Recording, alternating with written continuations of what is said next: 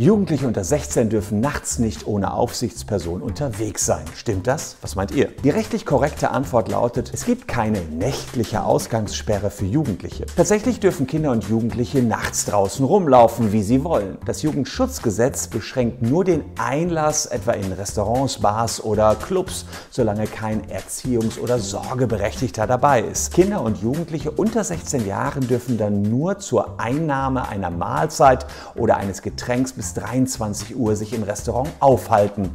Jugendliche ab 16 dürfen ohne Einschränkung bis 24 Uhr da sein. Auf Tanzveranstaltungen, also in Clubs, dürfen Jugendliche ab 16 bis 24 Uhr bleiben.